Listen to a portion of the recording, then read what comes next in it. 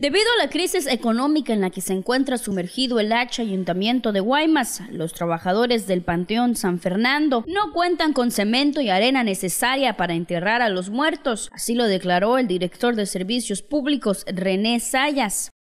ahorita sí tenemos un atraso, pero porque la situación que está yendo el Palacio, ¿no? ayer solicitamos dinero, cheque, para hacer la compra hoy pero pues ahorita está atorado ahí por, por la situación que está viviendo el, el, palacio.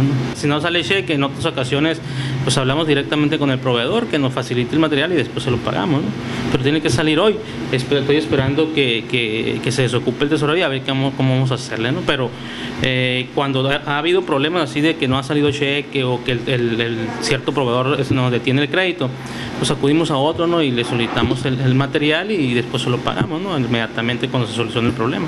Actualmente el Panteón San Fernando luce en estado de abandono y con bastante maleza. Es importante destacar que de acuerdo a declaraciones extraoficiales no se limpiará hasta semanas antes del Día de los Muertos. Para empeorar la situación, se tiene conocimiento del incremento de robos dentro del cementerio Incluso las mismas herramientas que pertenecían a servicios públicos y eran utilizadas para realizar mezclas al momento de enterrar a los muertos fueron tomadas por amantes de lo ajeno hace poco más de un mes.